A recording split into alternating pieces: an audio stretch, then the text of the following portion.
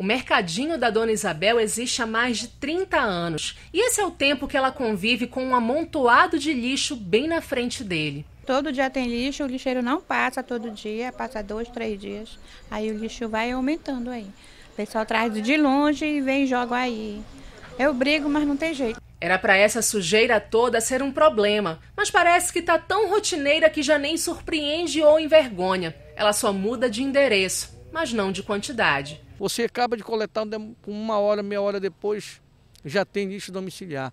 Então é importante que cada um faça e cumpra a sua parte, né? O poder público na, na questão da coleta, é, a população obedecendo o dia horário da coleta de lixo. De acordo com a Associação Amigos de Belém, a capital paraense produz quase duas toneladas de lixo todo dia e pelo menos 500 mil quilos vêm parar aqui nas ruas. E o mais absurdo é que o descaso com a via pública é tão grande que a impressão que dá é que a gente está dentro de casa. A questão do lixo está associada ao saneamento como um todo.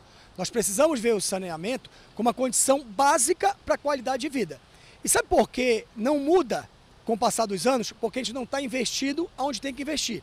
Nós temos que investir em infraestrutura, saneamento básico, mas também em educação. Reciclagem também não é o nosso forte. A Associação Brasileira de Empresas de Limpeza Pública e Resíduos Sólidos diz que o Pará é o estado que menos aproveita o lixo para reciclagem. Não chega nem a meio por cento de tudo que é produzido. Nós temos a dificuldade de espaços públicos para fazer as nossas RPV, que são unidades recebedoras de pequenos volumes, que seriam estações de transbordo, para depois você transportar esse material para um lugar adequado é, e para reciclagem também.